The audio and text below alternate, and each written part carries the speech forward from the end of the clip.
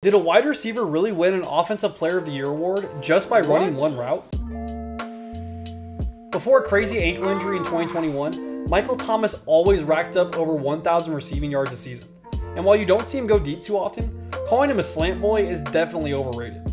Per Matt Harmon, his success rate in the slant was just 84.3%. But when he gets screens, comebacks, flats, and curls, it's game over. His post route wasn't far behind either. In fact, when you compare him to some of the best receivers in the league, their slant numbers are identical.